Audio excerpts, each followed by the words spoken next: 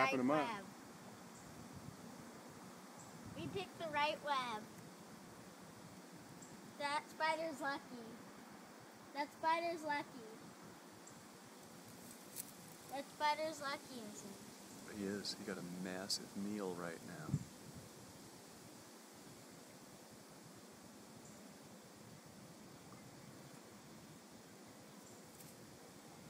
They're shooting web on him. What? Yeah. Oh my god. I think it's going to escape. Oh. Looks like it's gonna escape. It's doing its best. No.